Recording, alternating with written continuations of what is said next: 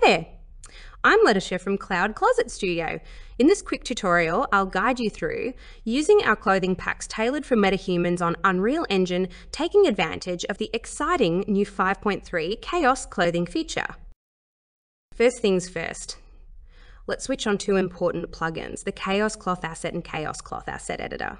Once we've restarted the project, we're good to go. Included some metahumans in this pack to help us out, but we'll explore them later.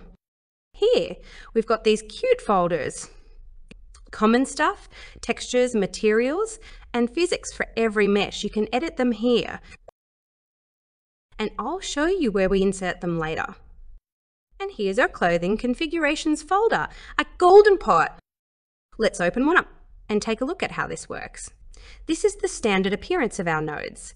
I've added some extra maps to this mesh to show how we can experiment with settings you know, come over to this corner here and we'll, I'll add a body and an animation to preview how our setups are working right now. Let's use the animation I've brought and voila, pretty cute, right?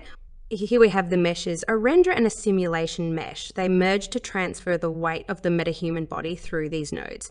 This is where you can add and modify weight maps according to your preferences. The max distance map is crucial. It essentially sets the limit for how much your clothing will simulate, specifying which parts and to what extent. This 2D map painting is a blessing as it helps precisely determine where we want our clothing to move. Both of these are backstop maps aimed at aiding our shirt with its radius. And here's a pressure map I've added to the sleeve because it's a knit shirt. I wanted it to have that fluffy, cozy look, kind of like the stuff our grandma used to make for us. This allows us to adjust its puffiness according to our preference. When tinkering with these settings, I recommend simultaneously adjusting the physics parameters as changing a weight might require adjusting the physics accordingly. This is the physics I showed you earlier. Here's some fundamental configurations set up the way I've adjusted them. These settings generally work well with most types of clothing, but feel free to experiment and customize them to your liking. Here's where we link the right physics to our mesh and our terminal to make it all work.